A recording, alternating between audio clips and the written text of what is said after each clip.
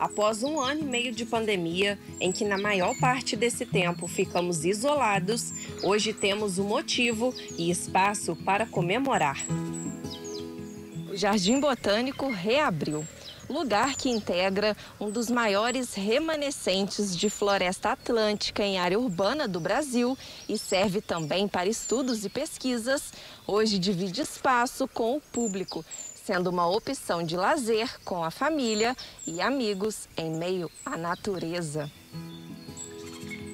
O Pedro é pesquisador do Jardim Botânico e aproveitou o dia com a namorada e a família para observar a natureza.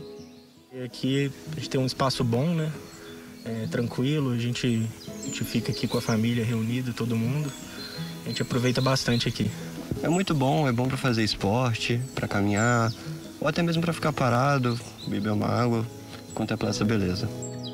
E com duas semanas de reabertura, mais de 6 mil pessoas já passaram por aqui. É um número expressivo, já que em 2019 a média era de 5 mil pessoas por mês. Os visitantes têm à disposição um ambiente natural com cerca de 10 hectares para aproveitar. Já são mais de 500 espécies registradas que compõem a biodiversidade do Jardim Botânico. A gente tem registradas aqui no Jardim Botânico, através de diferentes pesquisas que vêm sendo realizadas desde 2010, quando a universidade comprou a área, mais de 500 espécies da flora da Mata Atlântica. Entre elas, algumas espécies ameaçadas de extinção, como o pau-brasil e o ipê roxo. A gente tem também espécies que são frutíferas típicas da Mata Atlântica e que quando estão na época já os visitantes podem desfrutar, por exemplo, a jabuticaba, o cambucá, entre outras frutas.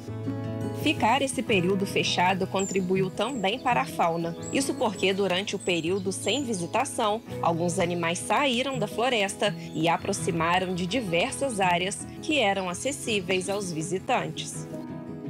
Então a gente conseguiu, durante esse tempo fechado, visualizar algumas espécies que não são comumente avistadas, né? como a irara, como a lontra. A gente recebeu também a soltura de nove bichos preguiça que são capturados na cidade e são liberados aqui pelos setas. Né?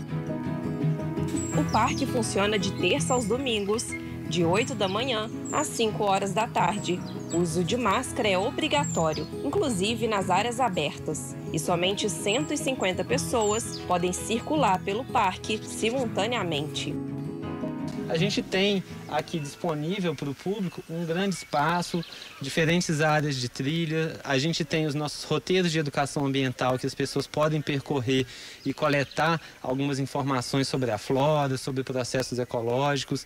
Então todos são muito bem-vindos para poder aproveitar esse espaço né, e dar uma reenergizada depois desses tempos que passamos por aí.